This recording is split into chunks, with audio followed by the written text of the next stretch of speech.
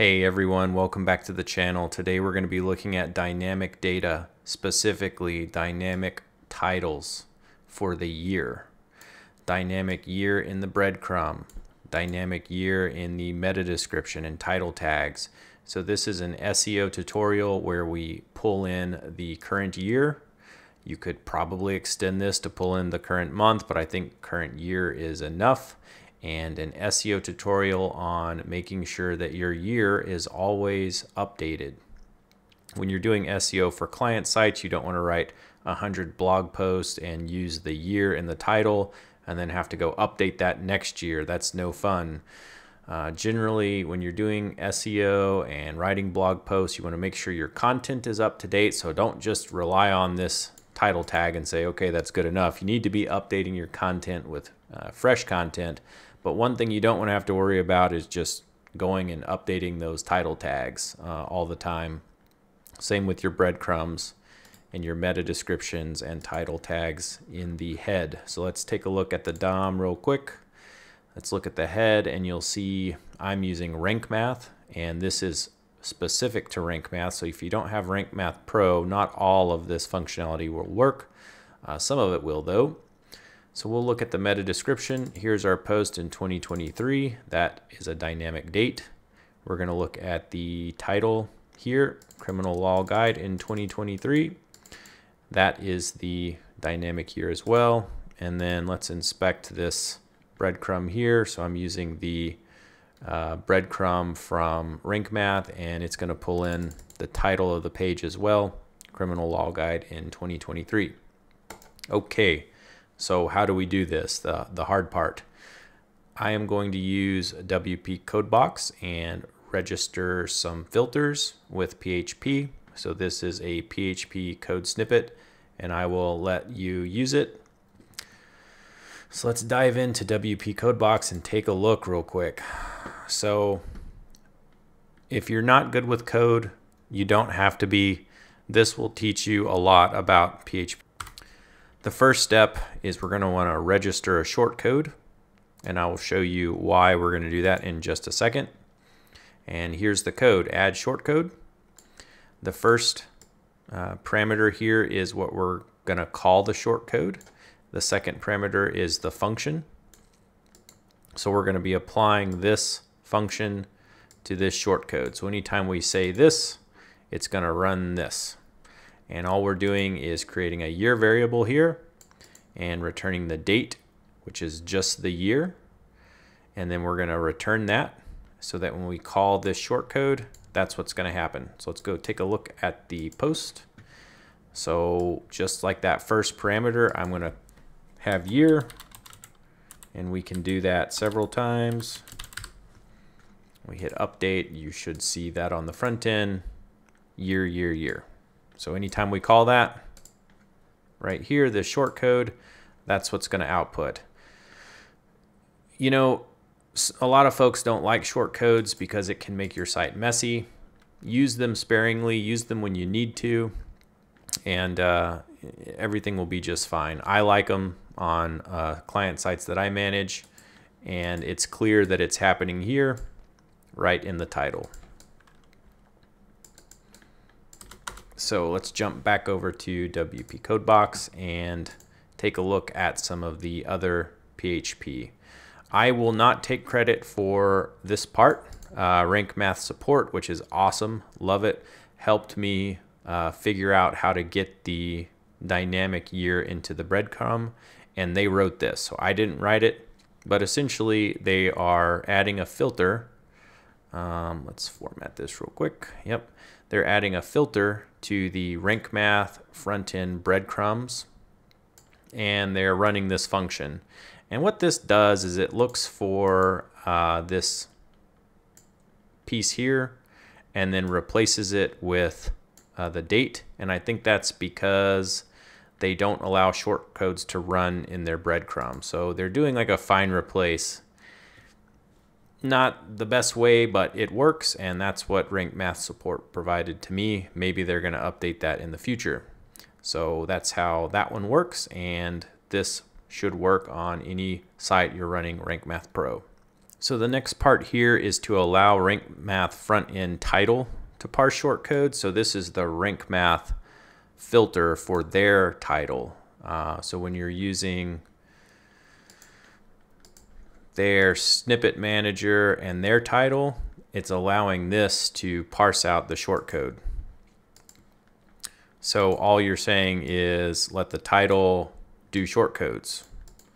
Uh, this next one is to allow the rank math meta description to parse shortcodes. So same thing, we're just going to let this meta description here parse shortcodes because it's not default out of the box able to do that. So that's what these little snippets do. And then this last part is adding uh, the ability for the title, which I believe is the WordPress filter for just titles to do shortcodes. So you have to allow the post title to do shortcodes as well, and that's to run this shortcode uh, function right here. So that's what it takes to make these things dynamic uh, using rank math. So at this point, you know, you could copy all this code and tutorial over, uh, but let's watch what happens if we start turning some of this off. So let's turn off the add filter on the title, which is WordPress title, and it's not going to be able to do shortcode anymore. So when we come over to our front end here, and that's our title, now it's back to just our shortcode uh, text, which is what we have plugged in here. So on the back end, you're not going to see it parse. Uh, we probably could make that happen, but um, there's no need. It's it's better to see that you're running this shortcode. Um, so on the front end, when you do not allow the title to parse shortcodes, that's what you're going to get. So that's what that does. So let's remove those comments and let the title do the shortcode. And there you go. It's uh, back up and running. Um, let's turn off the meta description.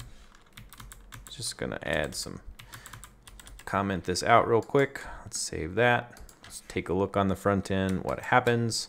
So we don't have the meta description here, so we're gonna go pull that from the DOM.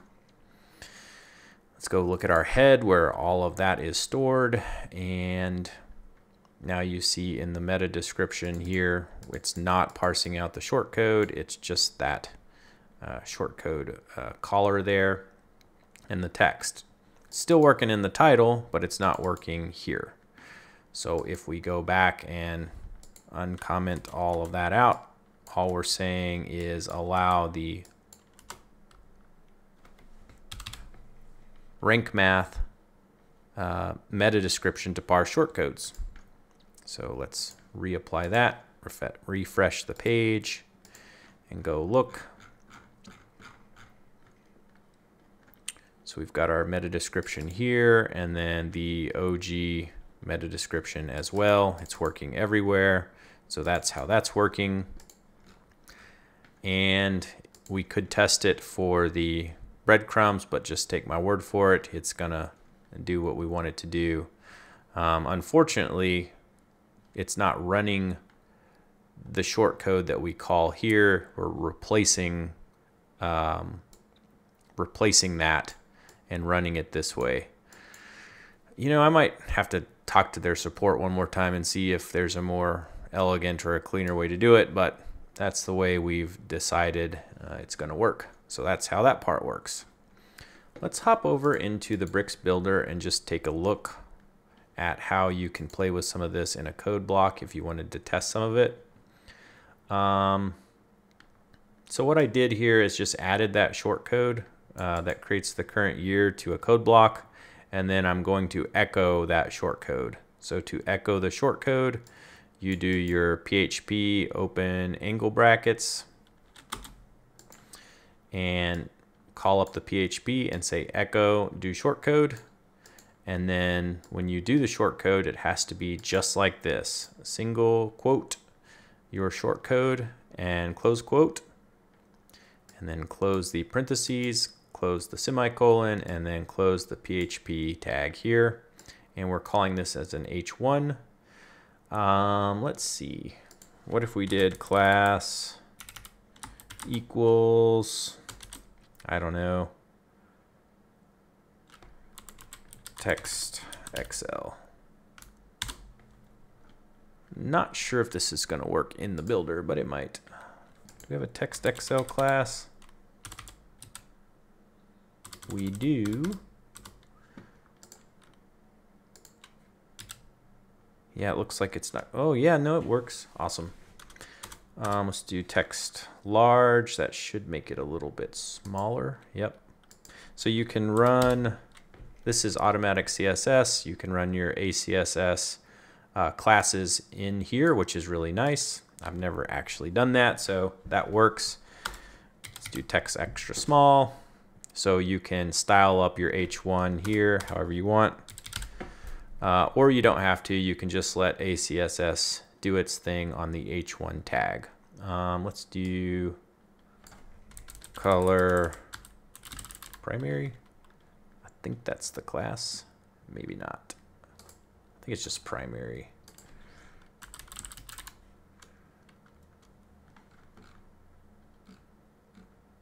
Text primary, that's the one. Text primary should color that. Uh, I think mine is this kind of blue color here instead of uh, something brighter. But anyways, you get the idea. You can call your short codes in your HTML.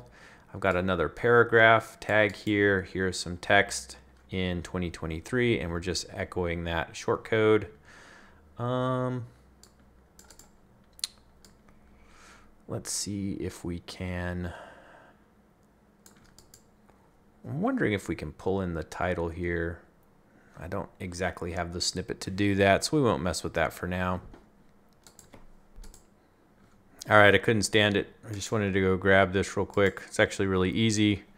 Um, PHP, and then the title will automatically echo the title.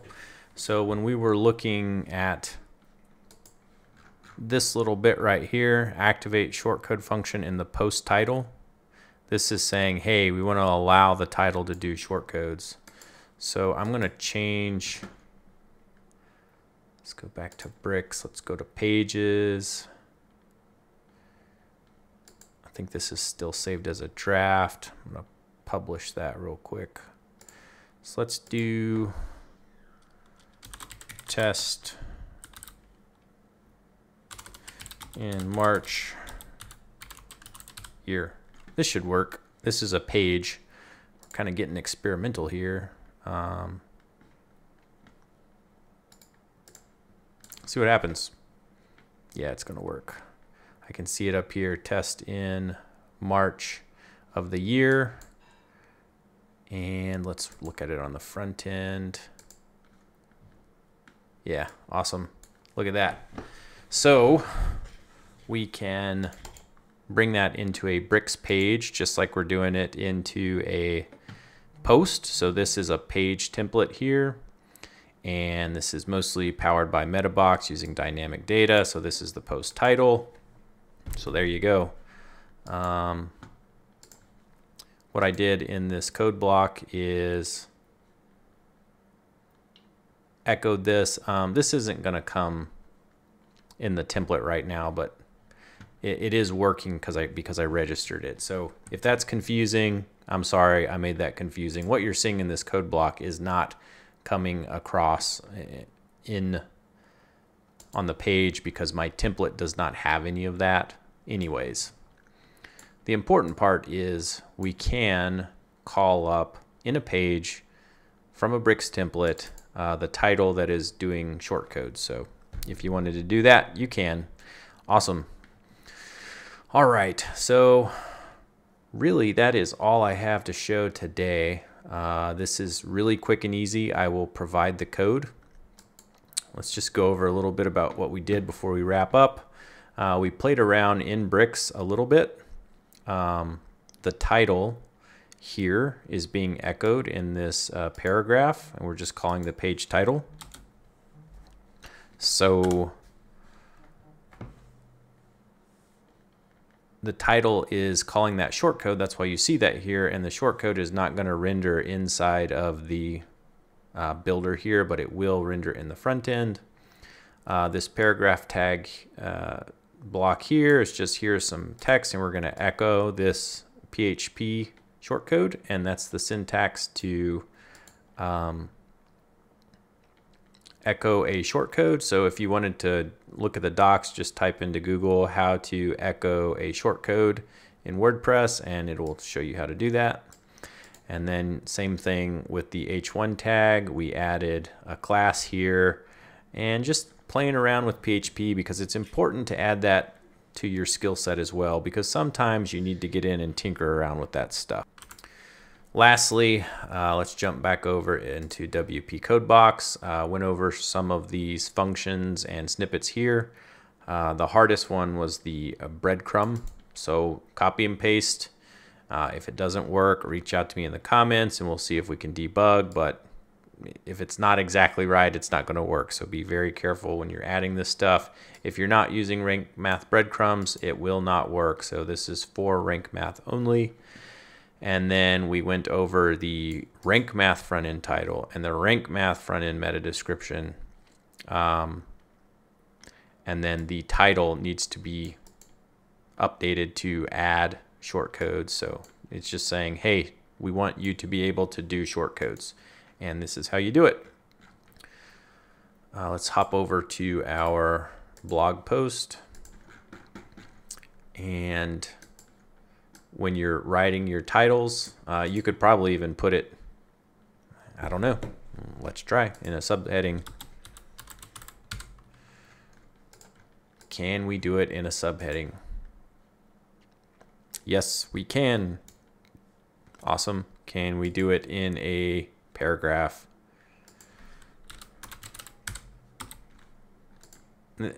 I wouldn't really do this, but you know, Jurassic Park's one of my favorite movies, and I think Ian Malcolm said, I don't know, what did he say? We were too busy wondering if we could do it. We didn't stop to ask if we should do it. I wouldn't do that here in like a paragraph because how's a developer going to find that if he like someone else takes over the site? Oh my gosh, that'd be a nightmare. But up in the title, you know, it's very top. It's like clear what's going on uh, that's where I would do it. Anyways, yeah, we can do it in paragraphs. We can do it in headings.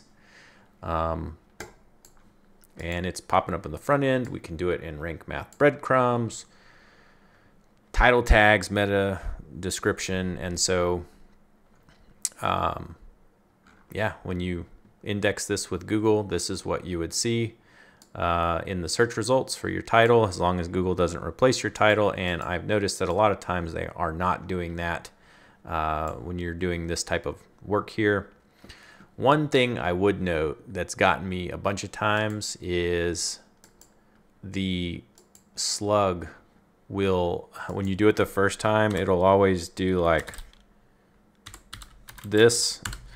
Um, sorry, it will do it just like this and then you get ready to index your post and you're like, uh, that's not a good slug. So it will, the permalink, when you save your draft, will take your title and put it the title exactly in the permalink. So I always have to remember to go in and delete that. That's gotten me a few times. So don't don't do that. It's really important. Always double check your permalinks before you submit to Search Console and make sure that you have your uh, link set up exactly how you want it. And that is all. Uh, I'm going to wrap this one up in 20 minutes today. All right. I know some of the tutorials get long, uh, so this one should be pretty quick and easy to follow. As always, if this is helpful, like and subscribe. If you have any questions, drop them in the comments and I'll do my best to answer them. All right, everybody, have a great rest of your day and let's start being smarter with our development using dynamic data where we can. Don't make your life harder by changing title tags year after year after year unless you want to charge for that. Uh, we don't at our agency. We do it the smart way. All right, everybody. Have a great one. See you soon.